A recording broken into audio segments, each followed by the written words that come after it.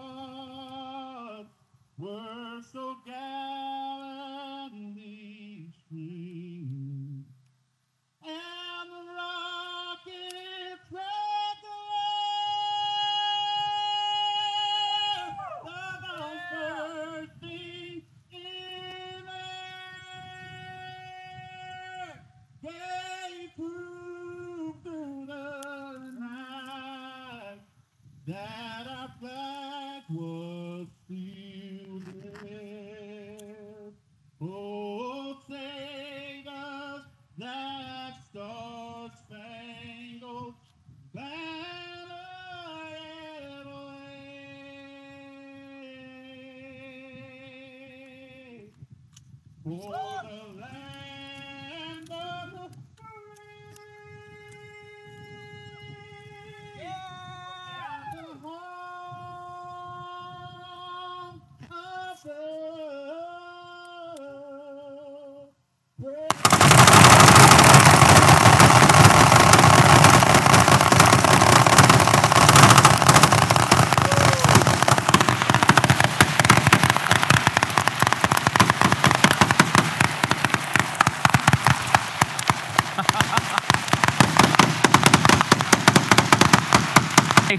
so pumped about the day.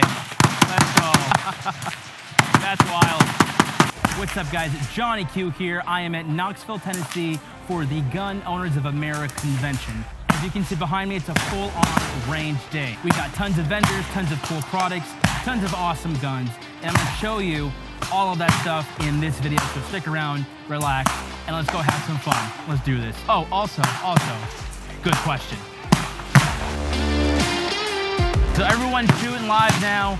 We are now live on the range, which means we can go to all these boots, shoot different guns, and it's gonna be awesome. I did not hear the Star Spangled Banner though. Maybe it was a little, little low. Did you hear it? No? All good. Play the Star Spangled Banner in our hearts. All right, let's go find some people and shoot guns.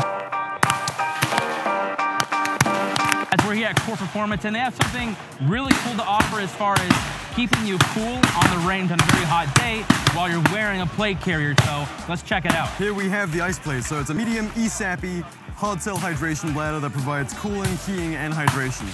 So at the minute, we're wearing it in just the ice plate backpack Gen 3. It's a simple hydration bladder. So it's just it's just back here then. Yep, yep. Okay. It's keeping me cool. Oh, so that is actually really cool. yeah, yeah, yeah. So uh, I've got that on my back right now. That, this is our kind of like entry into wearing an ice plate. You can put that on a plate carrier. So this is our plate carrier, the Ice, ice Plate Exo Gen 3. So this thing is 23 ounces. So ultra lightweight, ultra minimalist, and then designed purely around thermoregulation. So we've got the IMS Pro and a ice plate mounted inside. So this will provide cooling, heating, and hydration on your plate carrier. You can run this thing over with a truck. Like we ran over this truck in particular, 4,000 Can I pounds. take this off? Can I show? Yeah, absolutely. And this the plate with the water, like fill it with water. Yep. fill Right, it- and this goes back with- here. Yep. Fill it with water, freeze it overnight, put that in, and that'll last you two to four hours of cooling, and then you can swap them out real quick. And then you can see here we've got our ice cap. So Oh, that's cool. Yeah. that, that we've got Source 90 drink tube leading into our ice plate. And so as this melts against your body, this is gonna keep you cool or warm if you uh, put hot water inside of it in the cold. Yeah, as it as it melts or cools, you can drink it. And actually, Nice. yeah, the, the cooling power of this will actually reduce the amount of water that you need to drink. Oh, um, sure, sure, throughout right, your day. right. So That would make your- sense. Keeping your core body temperature down. So as it melts, then you drink it. How long does this last then? Two to four hours. Two to four hours Depending on yeah, depending on temperature, depending Sure. on your body type. Right, right. That's sweet, man. Is it Pretty- heavy? No, I mean, Is there water in here? this one's empty. So Okay. I mean, uh, but not that much different though. I mean, no, if it was. And this one, I mean, this has side plates on it. This is like a fully built out. uh, Right, extra. right. But without without plates and without the IMS Pro, this plate this plate carrier itself weighs 23.2 ounces. Okay, yep. Uh, with the axle common bun, we also do a layer one with just a side strap. Oh, sure. And that weighs 15 ounces. Seriously, that's not bad though. No, That's no. super lightweight. This is made of uh, proprietary ice plate exo laminate. So Okay. this material. you guys make this too? Yep, we make this right here in uh, Knoxville, Tennessee. That's awesome, dude. So this is the Smith & Wesson 2.0. This is all metal, right? Yeah, so aluminum frame. Aluminum frame. Okay. Yeah. Man, that, fe- that feels really good. Do they all come this smooth? Yeah.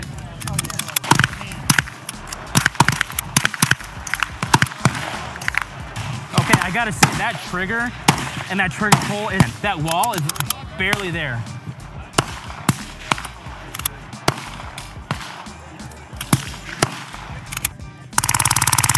Much wall and take up we have. Then we have the break, okay, and then we have the click, and then the break again. Yo, that, feels really good in the hands. It's all ported up here. We have this front serration, we got rear serrations. We have the Defender XL optic, 5 MOA. We got comps all the way around. Man, that thing is just. Oh. Man. Uh, let's see here. Let's stay here. Go.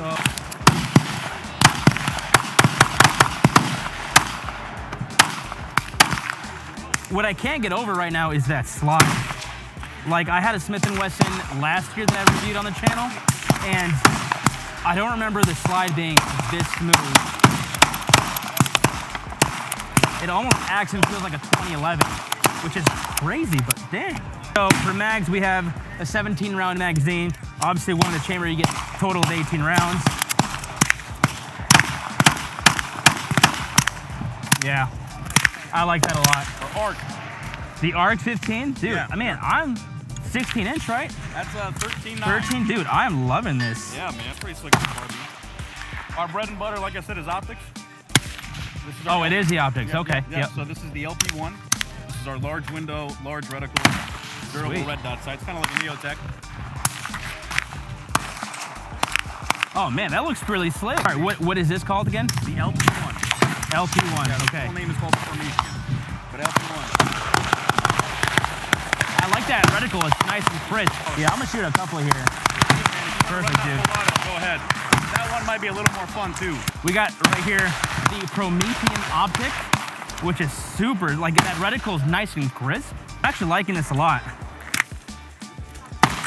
And apparently this has the giggle switch, so we'll try that out here pretty soon. Oh, that's butter. Okay, now let's try that giggle switch here.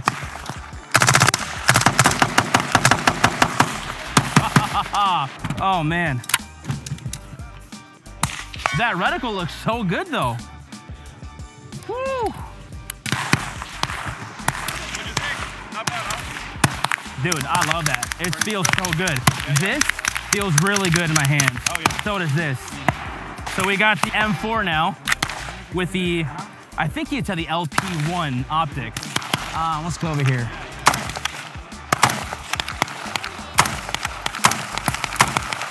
You guys got here. Do you got any more? You got any new optics?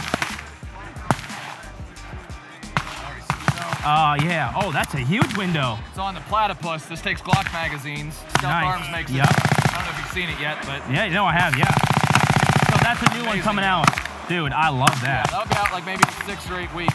Currently at the Gideon Optics booth, and they have this new coming out optic here, and it's gonna be called the Planet. And look at the size of that window. That is just so good. Now, if you know me and you know the channel, I love big optics, big field of view, big windows. I'm gonna shoot this and I'll tell you what, how it is, all right? Give, give me one sec here. Let's just, uh, let's do this. Oh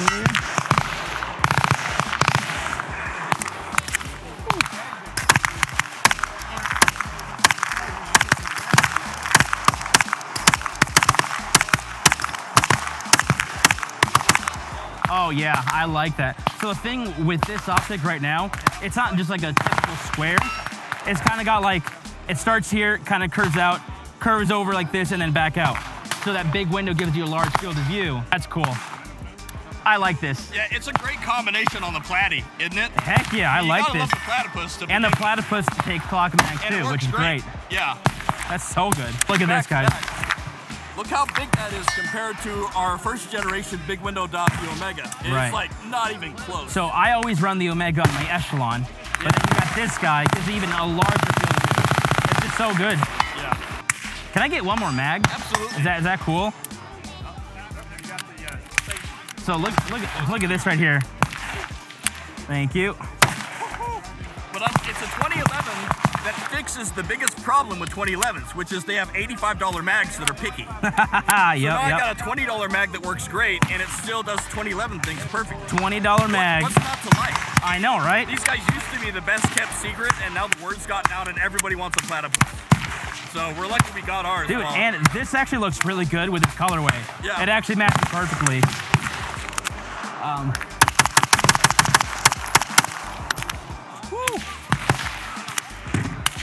Heck yeah, dude. I like that. So this week we just launched the Lazarus platform. Okay. This is our new um, six arc Sweet. suppressor. Yeah. So this marks kind of a new benchmark for us Sure. at Dead Air. It's printed out of Haynes 282. Okay. Which Yeah. is a super alloy meant for like rocket nozzle motor. Also, this is our lowest back pressure Okay. rifle pan that we've ever made. Really? Yeah, ultra low back pressure. Yeah. And no barrel length restriction, full auto rated. A lot of people are always comparing DBs. Yeah, what right. we really care about too is tone. Important part of the, the conversation Yeah. is what is the tone? Gotcha. Sure, sure.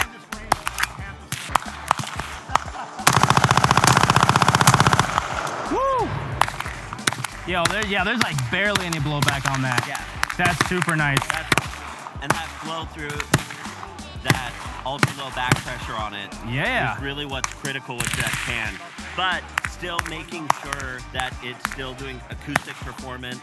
Yep, And also right. the nice thing about using Haynes 282 is it reduces flash signature as well. too. Sure. Dude, it looks pretty rad too. It- It, looks it looks pretty sweet.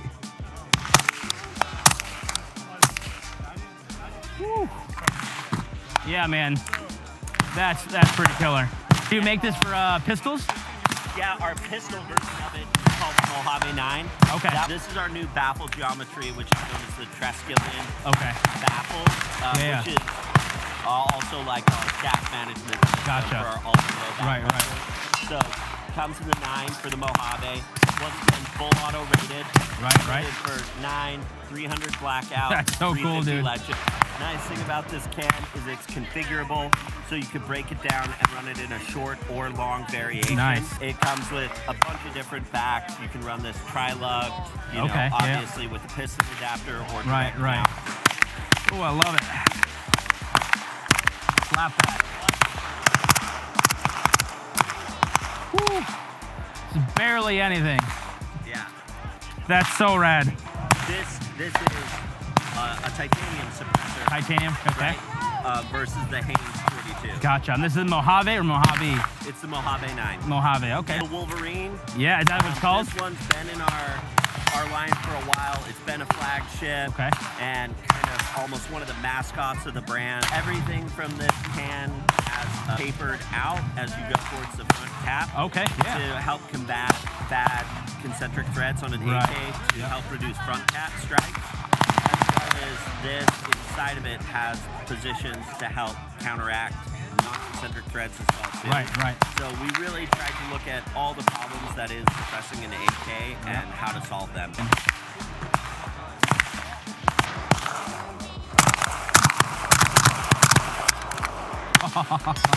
Yeah, dude, that's so smooth. That's that's crazy. Yeah, it, it totally changes the feel of that gun. Like I was anticipating because it's an AK, right? Yeah. But um, I shot that first shot. There's barely any recoil. Yeah, So that's so cool. all of that, when, we talk about suppressing an AK, we obviously, when you're doing this, the other big upgrade that we recommend on any AKs is our friends over at KNS. Oh, they make yeah, a variable gas piston. Nice. Yeah. Those right. two little upgrades really takes that AK and turns it into an ultra soft shooting. Heck yeah. Sweet, man. All right, I'm with the 2A boys right now. Let's ask them what their favorite gun is. What's your favorite gun? MP7. The what? HK MP7. Oh, okay, okay. What's your favorite gun? H2K MP7, but I also love any 2011. Any 2011? Any Dude, I, I love that too. What's your favorite gun? I'm probably, I, I like the 2011s. Heck yeah. So, oh, okay, like everybody loves 2011. I do too. Give me a quick rundown of like what your channel is. Just like really quick. Well, we're the 2A boys. We're just about showing the world that kids can be capable. Heck yeah. Yep. And capable, capable of what? we're capable of being self-sufficient, capable of being proficient with firearms. Definitely, definitely. At what point in our world did that become an unusual subject? Right.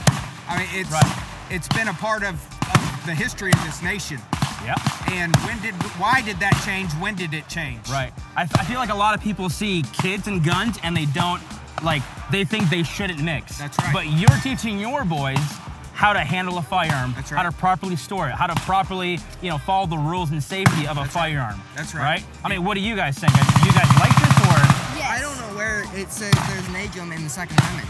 Yeah, Yeah, right, that- right, right. But would you say that you guys are just overall have a better understanding about firearms and firearm safety?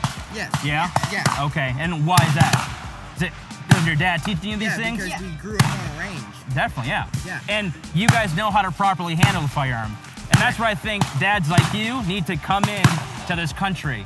Like, dads should be present in, in the lives of their kids. Absolutely. And you, you're teaching them fundamentals of firearms, but also that goes across like everything else, like life, being a Yep. good man, being humble, being kind, all those things.